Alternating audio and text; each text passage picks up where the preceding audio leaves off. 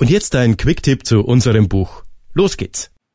In diesem Quick-Tipp zeigen wir euch, wie ihr euer Samsung Galaxy A21s zurücksetzen könnt.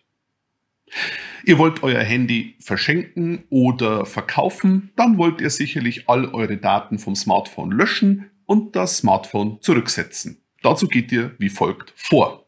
Im Hauptbildschirm tippt ihr auf den Bildschirm und zieht nach oben, um alle Apps zu öffnen.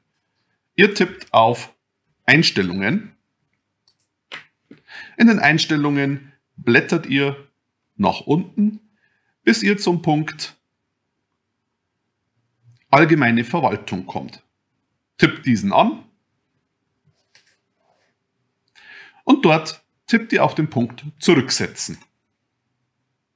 Hier findet ihr auf Werkseinstellungen zurücksetzen. Tippt diesen Punkt an. Ihr bekommt eine Sicherheitswarnung.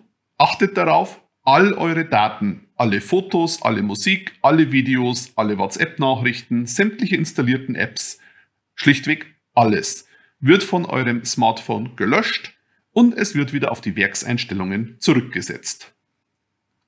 Blättert nach unten und tippt auf Zurücksetzen. Gebt noch eure Sicherheitspin, Passwort oder Muster ein.